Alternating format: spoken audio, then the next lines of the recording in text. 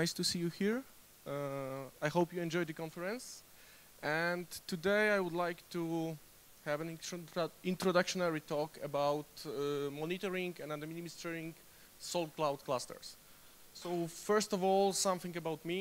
Uh, I'm a search consultant and engineer at Sematext. Uh, I also happen to be a co-founder of Solr.pl. I don't know if you're familiar with that. If you uh, seek some information about Solr. you can take a look there. I'm also a father of two great kids and a husband, and I happen to write a few books, two about Apache Solr and two about Elasticsearch. Uh, let's start with the basic concepts about uh, the cloud. Mm, as you know, or may not, uh, the solar cloud, the basic idea about the cloud is to have your Solr distributed among multiple nodes. So uh, in, a, in general, you have a multiple Solr servers that uh, create a cluster. On Solr servers, you, you, have a collection. A collection is a logical some kind of logical index uh, that you have you put the data to. Mm, a collection is uh, composed of shards. Each shard can be either a leader or a replica.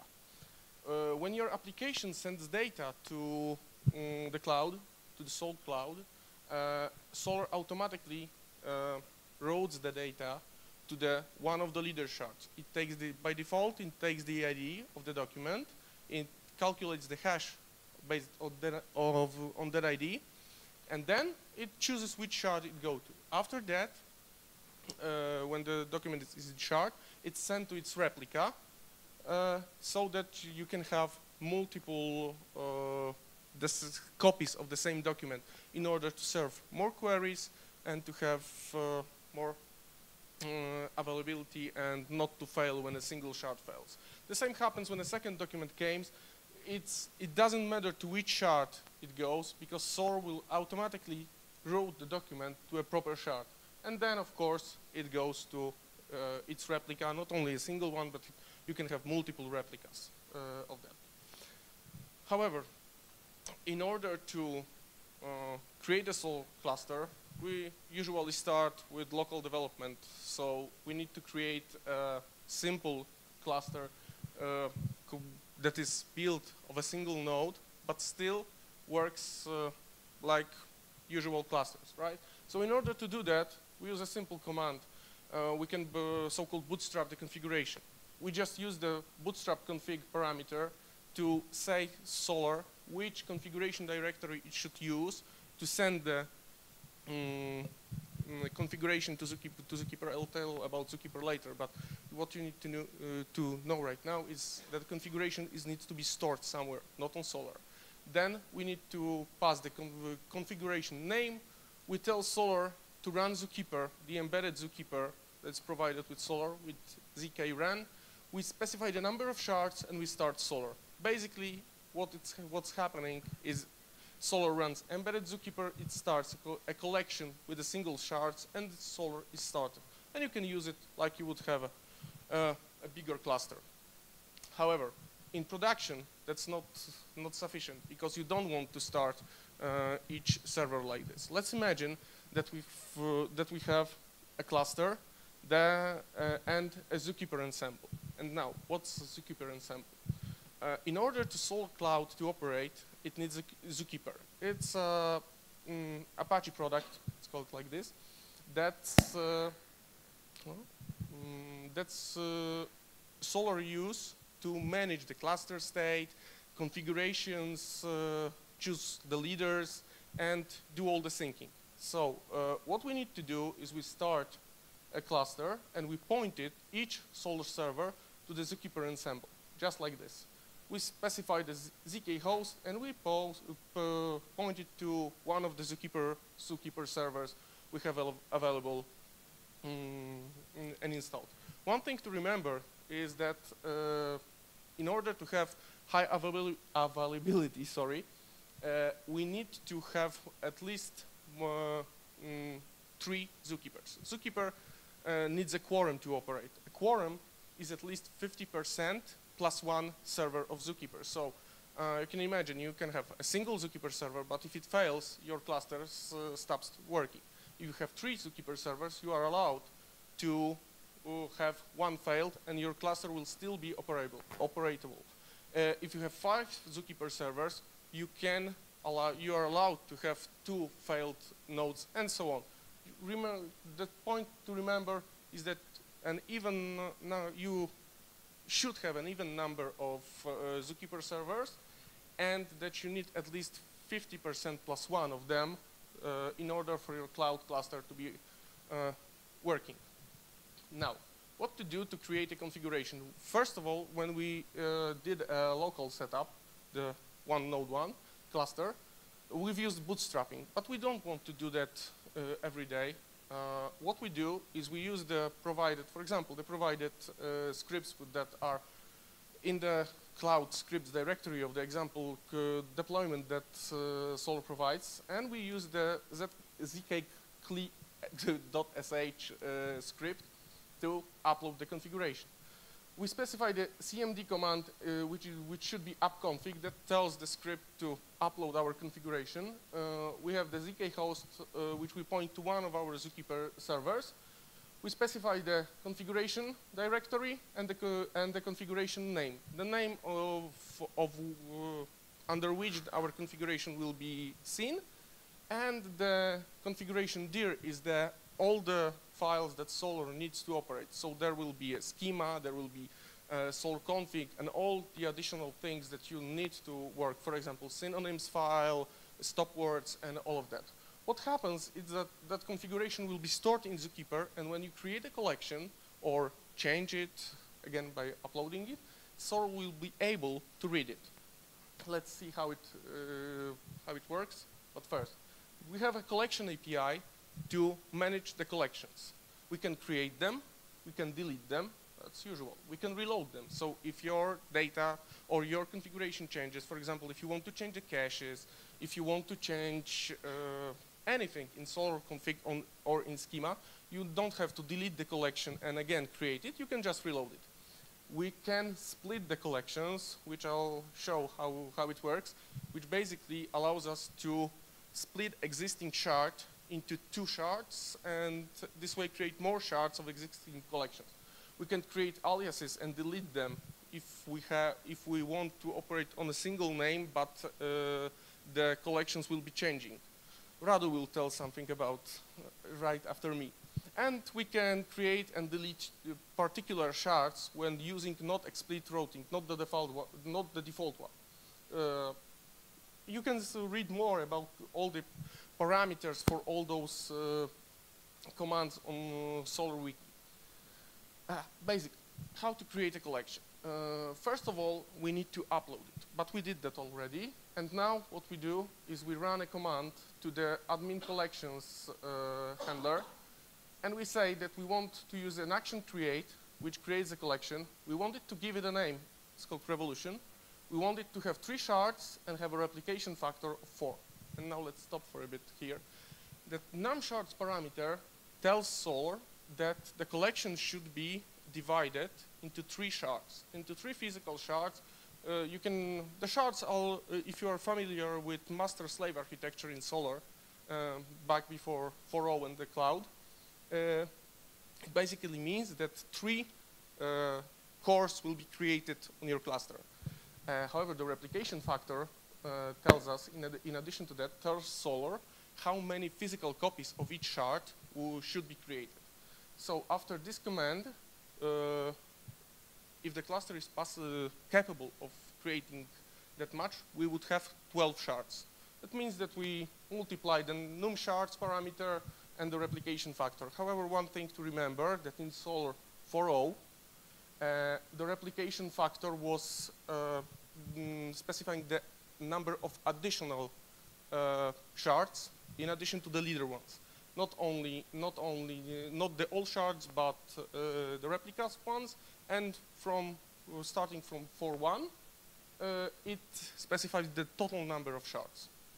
Um, we, uh, in the create command, we have the following parameters. We have the name, the collection name under which it should be visible, the num shards we talked about, replication factor, max shards per node, uh, which defaults to one and tells Solr how many shards of the same collections are allowed to be placed on the same uh, no, uh, Solr Cloud node. By default, Solr will, will only allow a single shard of the collection to be placed on a node, but sometimes it's not desired. Uh, you can imagine that for right now you have four nodes. You know that you want replicas, you want to have replicas and you want four shards. Then uh, you can create additional shards, uh, specify the max shards per node to a higher number than one, and add nodes during time and Solr will handle. The create node set allows us to define nodes on which the, collect, uh, the shards will be placed. If we don't want to place the shards on all the nodes, uh, we just specify the um, IDs of IP addresses of the nodes we want to place the collection on and Solr will place, create the node, the, the indices there. And finally, the collection config name is the name of the configuration we want to use, and we should use it if the configuration name is different from the name we specified in the, uh, in the command. Now, I've told about splitting. Imagine a situation like this that you have a collection and you see that your servers are stressed out. The indexing is not going well. Uh, you just can't keep, your machine just can't keep up. And the reindexing is not an option because one option that, uh, that you have is just create another collection with mm, more shards, uh, index, reindex the data from scratch and uh, you're done. However, that's not always the option. Uh, and Solr give us the possibility of splitting the shards already of already created collection and dividing a single shard into two. What we need to do is, uh, uh, let's start with a simple example that will create a uh, collection with two shards. Uh, after uh, running a command like this, we should see, this is a from Solr admin from the cloud view you see that we have a collection, collection named collection one. We have two shards. They are placed on the same machine, but different, uh, different Solr uh, instances running there. Mm, after we run the split shard command uh, on the collection, you can see the action is split shard. The collection, we give the collection name, and we specify which shard we want to divide. After that command, our uh, collection will look like this. You can see we still have the shard 1, but it's empty we have this shard 2, which, was, which wasn't touched at all, and we have two additional shards, 1.0 and 1.1. Those new shards will have the data that was uh, present in, the sh in shard 1, but Solr will divide the data more or less evenly uh, and sp split the information in the cluster state that is uh, stored in Zookeeper. It will divide the shards, um, the IDs of the documents that were the shard were, which should be put in one and one and uh, one O shard and one one, and from that point you can you can delete the shard one and just continue with your collection. However, one thing to remember about is that this operation is heavy. Mm, Solr needs to rewrite the index into two uh, new shards, right? Because if you, a single shard is small in index, and it needs to be rewritten all the caches will be invalidated. I.O. will be stressed out if your collection is big. Mm, and this operation shouldn't be done uh, every day. So you need to mm, think about how many shards you want uh, before creating collections actually. But in terms of uh, emergency and if you really need it, we have the possibility and it's very nice to be honest. In addition to that, uh, the collection API is built on top of the core admin API. Uh, so we can use the core admin to create shards ourselves. If we want something like this and we want the full control over what is going on on the, on the cluster, we, want, we may use the uh, core admin. It, it can uh, take the parameters like collection, which is a collection name, the, the shard, which is the actual ID of the shard we are creating, the total number of shards collection should have, and of course the co collection config, config name, which specifies the, uh, the collection name. Hmm, to be honest, you won't uh, use the uh, core admin API very much, but it's useful sometimes. Ex uh, uh, explicitly, explicit routing, for example. Uh, okay, let's stop here. I won't talk about routing, so let's not uh, talk about it. Just remember, you can use it, and sometimes it's useful, uh, especially when you need full control over what's happening. In addition to that, when trying to manage your clusters, you sometimes needs your uh, sometimes needs uh, in need of uh, reading and writing schema. Mm, your index is probably not static. Mm, it will change over time. So uh, from Solr 4.2, we've got we've got the ability to read uh, information from the schema dynamically. We can read information about fields, the dynamic fields, types, copy fields. Uh, from 4.3, uh, some additional information is avail available like the name version, unique key, and of course the similarities defined. However, with Solr 4.4, we've, we've got the ability to actually write the schema. Uh, we can add new fields, and we can add copy fields. Uh, to read schema, nothing, nothing is actually needed in terms of configuration. You just, you just point uh, your browser on or a call request to a proper uh, uh, request handler. Uh, in, in Solr, it's called schema fields, and you specify the field name, and what you get in response is a JSON that has the information about the field. For example, here we have the name of the field, which is name, uh, its type, is it indexed, and is it stored. Simple as that, sometimes useful if you are building a UI with, uh, for example, a schema wizard or something like that. Mm, you can read about the schema API uh, uh, uh, on SolrWiki also. Uh, in order to modify the schema, some information must be present in the Solr config file. First of all, you need to define the schema factory. There are two schema factories currently. Uh, the managed index schema factory that allows us to manage the schema dynamically. Uh, in such case, you shouldn't uh, modify the schema uh, by yourself uh, without uh, the use of the schema API, because that will mess up, mess up things. What we need to do, and there is sorry, and there is another, the static, uh, uh, the classic index schema factory, which uh, is just the, what, what was available from the start in Solr. so you can modify the schema by hand. Anyway, let's, let's get back to this. And with the managed index schema factory, uh, we have two parameters. First of all, we need to set the mutable to true, so Solr will be able to write to it. And then we need to specify which schema we want to mm, write to. So this is the name of your schema. It's managed schema like in the example uh, deployment, but if your schema is named differently, you need to adjust it.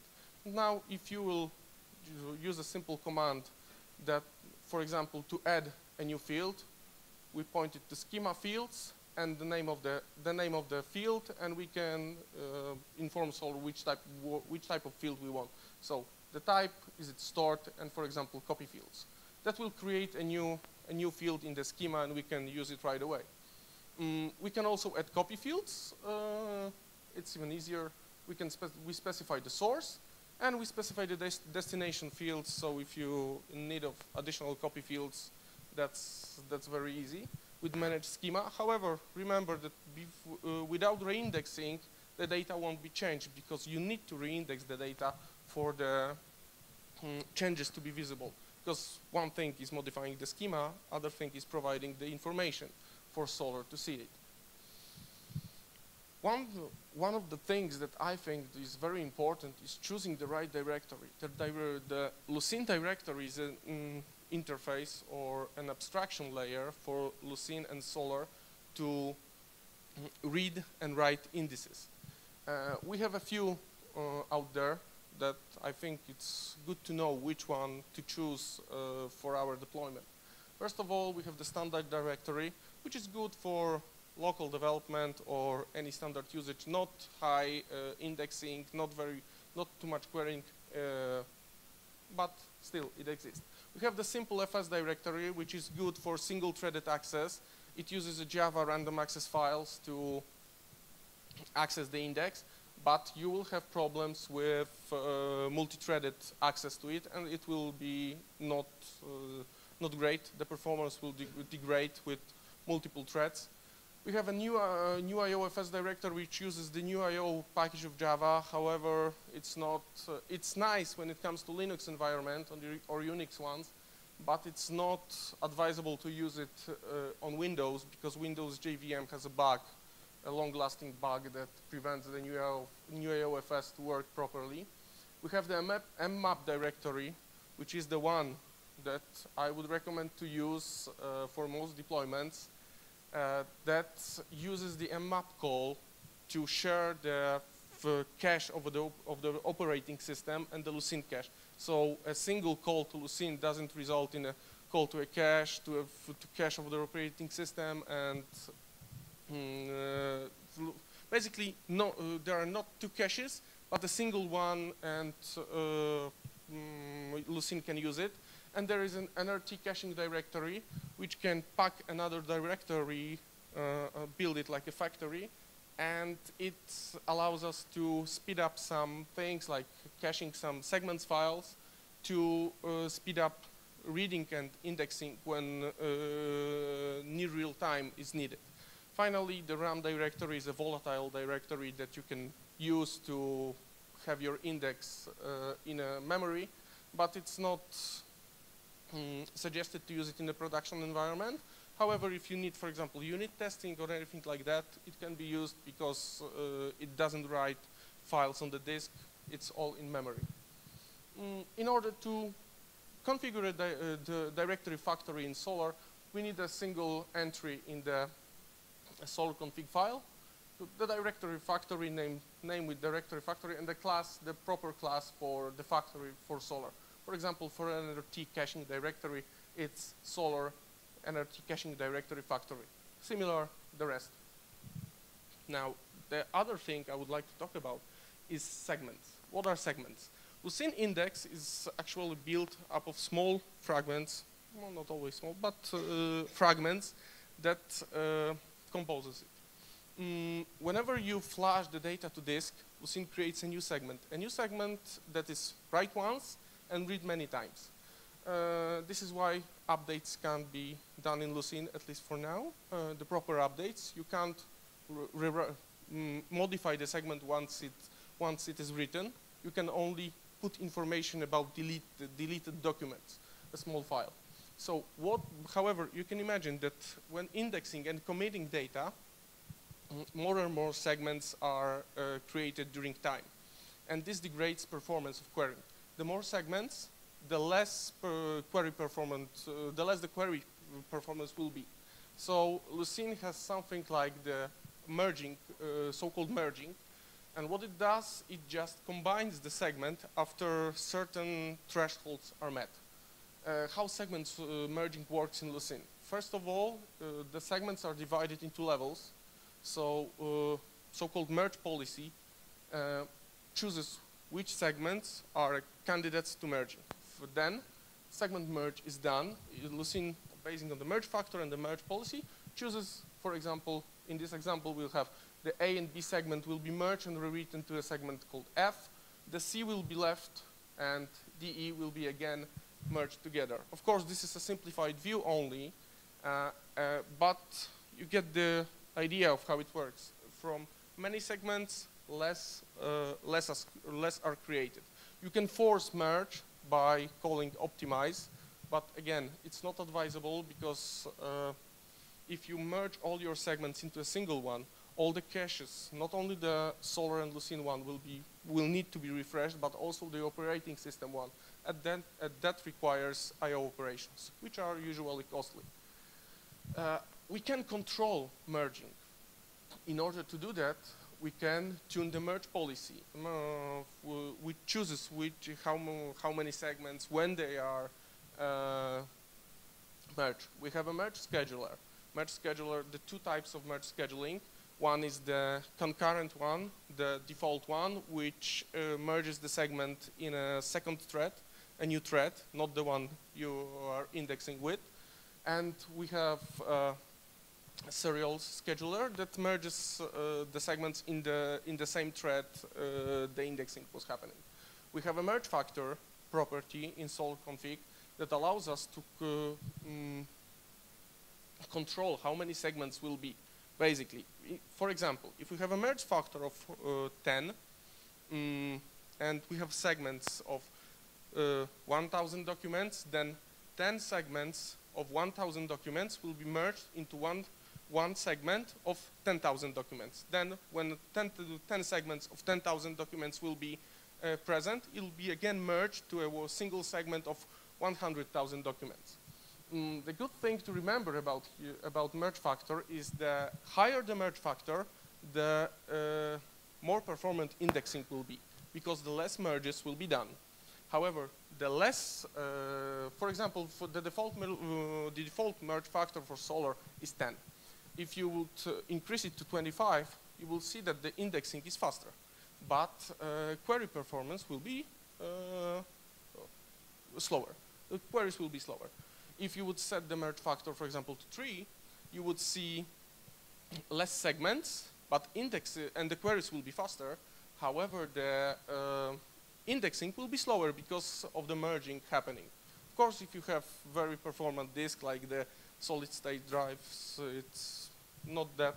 Depends on the indexing, but usually uh, merges can be painful uh, when indexing too much data. And of course, we can tune the merge policy.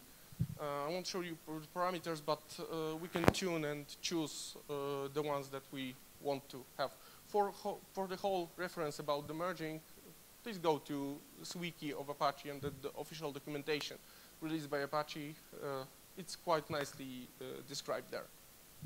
Mm, there is another thing. Mm, imagine you have multiple data sources that are writing to Solr uh, at the same time.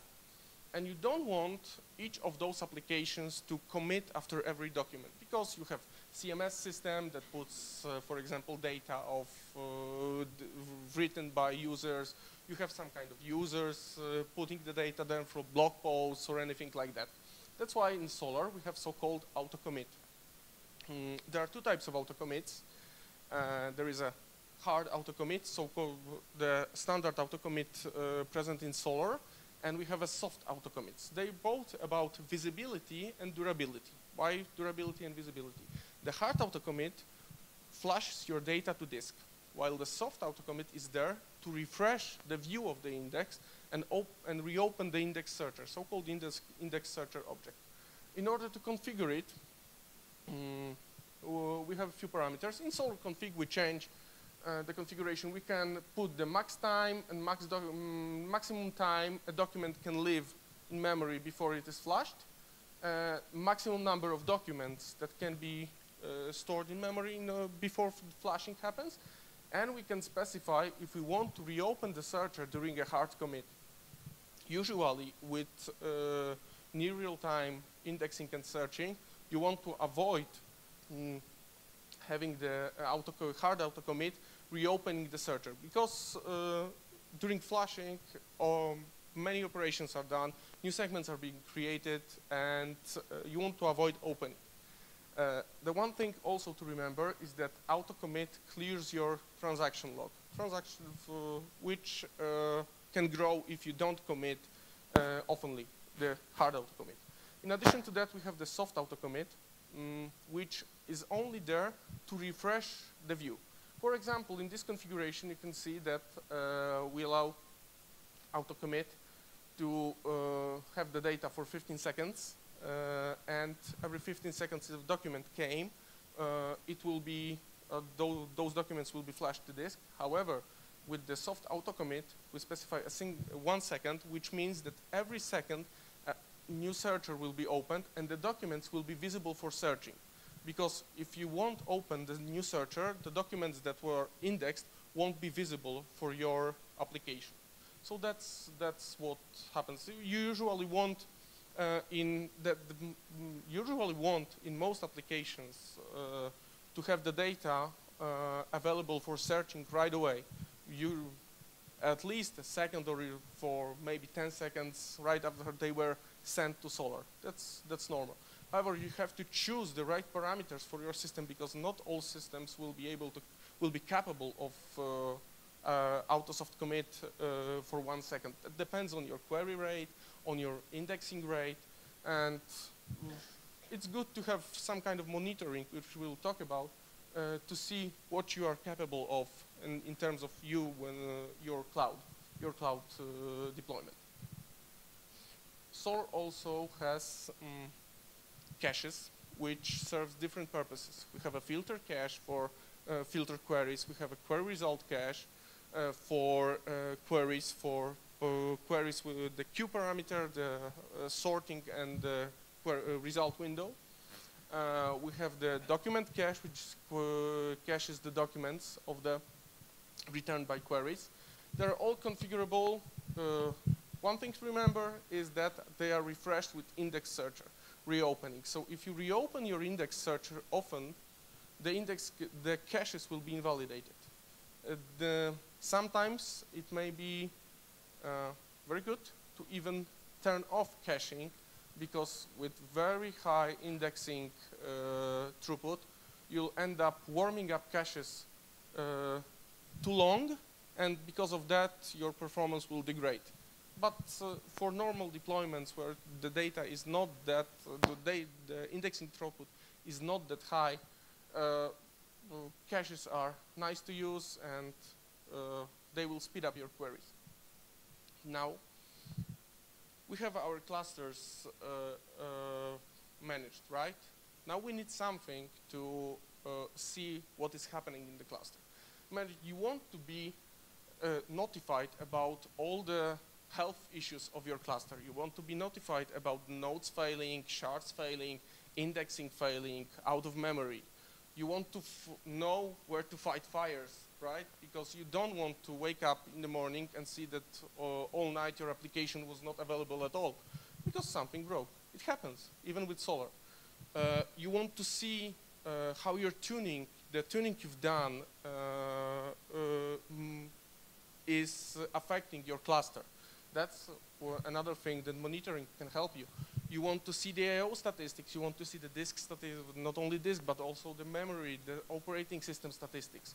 Finally, you want to do the, for example, A-B testing and monitoring can help you there because you want, you deploy some changes and you see, okay, we've deployed the change here and now we see the difference between cluster behavior before the change and after the change. And finally, you want to be alerted about all the things that can happen, that happened or happened and uh, which you should be aware of. For example, failing, some anomaly like the peak of re requests or indexing peak that usually mean, if you don't expect it, that something wrong is happening or is going to happen. What sh you should pay attention to when monitoring? First of all, uh, the health index uh, shard health, how many documents, if they are failing, what's happening. Uh, you need to be paying attention to all the indices uh, statistics like the disk, disk spaces and stuff. Uh, you need to pay attention to your uh, JVM and how, you, how, your JVM works, like the garbage collector, uh, the memory, how, how it performs, if there are no issues. Of course, the memory is very important because if you run out of memory, your Solr will be not operable. Uh, the disk, if it's too much for a single node, if the nodes are still able to run uh, and serve queries and uh, index your data in a way you want, it to, you want them uh, to index. So now, with the cluster state, uh, I think that you should at least monitor the health, the status of shards and the replicas, how the shards are placed among the cluster if, the, if they are evenly uh, distributed, and of course failing nodes, because when nodes failed, your cluster performance degrade. Mm, then uh, there are index-related metrics. When you indexed, when you index data like the log data or mm, uh, tweets, for example, uh, then the indexing throughput will, pay, you should pay attention to the index throughput the document distribution among the shards because you want the documents in general cases you want the documents to be evenly distributed among all the shards in the cluster. You need the I.O. subsystem metrics so you see if there is no uh, swapping or anything like that because swapping will uh, degrade the performance. And of course, you need to pay attention to merging because uh, it's usual that you have to adjust it to your case. Mm, there are search-related metrics you should pay attention to, like the count of your, the number of queries that are coming to your, each of your nodes, the latency of the queries to see how your clients, if you have, so if you are exposing your application to the clients, and you usually do, uh, what's the latency of the uh, page that is being displayed how, how the queries are distributed among nodes. So uh, if they're not hitting a single node, they're evenly distributed among the cluster. And of course, the anom anomalies and spikes, if you see something like this, then probably something bad is, is happening. Uh, the next thing is the mem um, memory and garbage collection. Uh, you need to know the heap details uh, because you, know, you, need to know how your application works in case this application we, talk, we talk about Solr. You need to know the pool sizes and the pool utilization and the garbage collection count and time. You need you probably want to have the uh, garbage collector run uh, more frequently but uh, with lower times because if you run it less frequently and you hit a stop the world event, your Solr will stop, to respond, uh, just as is.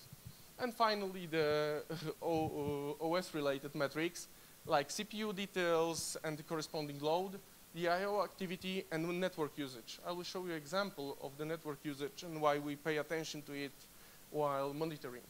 There are a few tools that you can use to monitoring. The first one, the out-of-the-box one, is the Solr administration panel. It's, it's quite simple, but mm, can be used. You can see the memory usage, statistics of your shards, uh, of course, statistics for the given handlers uh, and caches. All the information is available on Solr administration panel. You can also use JMX. Uh, if you add this to your Solr config, is by default, it's by default present, so uh, if you look at the default Solr config.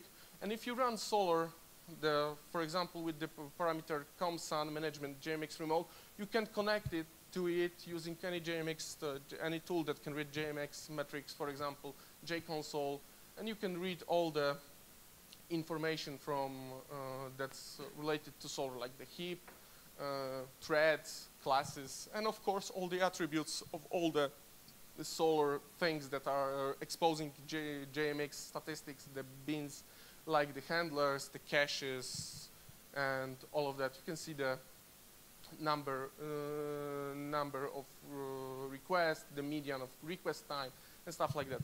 But that's not all. Uh, you would like to have the data persistent somewhere because you usually don't sit before, before your computer 24, hour, 24 hours and look at the statistics if something is uh, not right.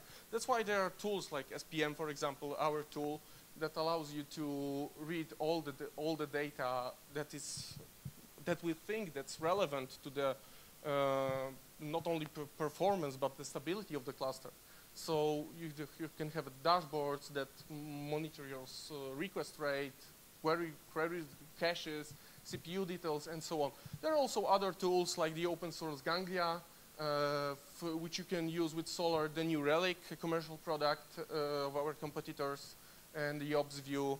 There are also info information how to how to plug them in.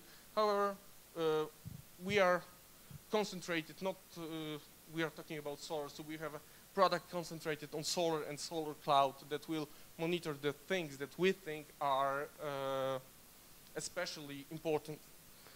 I would like to show you, uh, going to the end, to three examples of where monitoring is uh, give us an information uh, or, or, what was happening.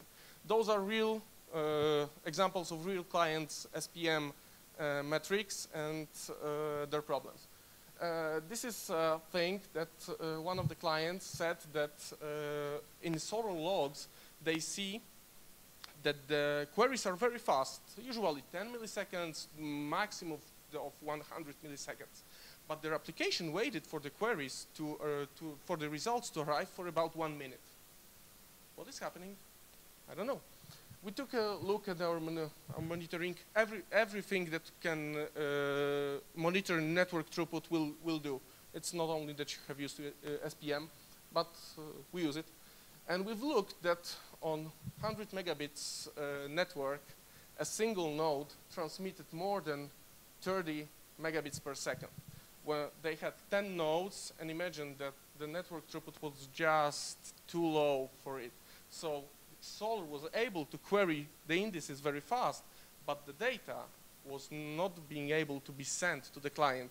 To be honest, they were uh, getting very big faceting result, and each query returned about 5 to 10 megabytes of XML. So that was quite high. After they cut off the some of the faceting results, the queries were running smoothly and everyone was happy, including me.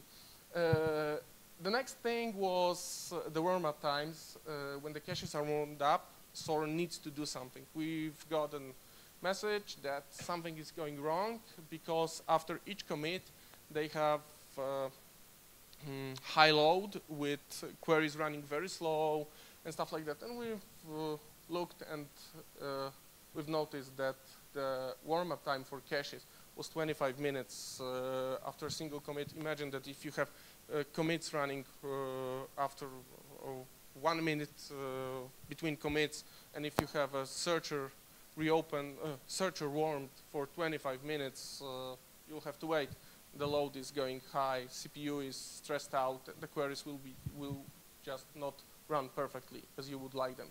And finally, when it comes to caches, you would like to avoid evictions. Evictions is when uh, the cache is full, you don't have the data, uh, you don't have uh, the space to add new entries, and you need to throw away some of them, some of the entries to add new ones. This, this is what you want to avoid because uh, in order to throw away some data from the cache, Solr needs additional CPU cycles, and that's where performance degrades. So again, we've used our monitoring to look at it, and uh, we figured out what was happening. We are hiring, as usual. Uh, if you want, uh, you can reach me uh, at Twitter or at Sematext mail. You can reach us if you want to try SPM for Solr. There is a discount code. It's free for 30 days, and then you can use the discount. And finally, if you want to talk to us, come to our booth. Thank you very much.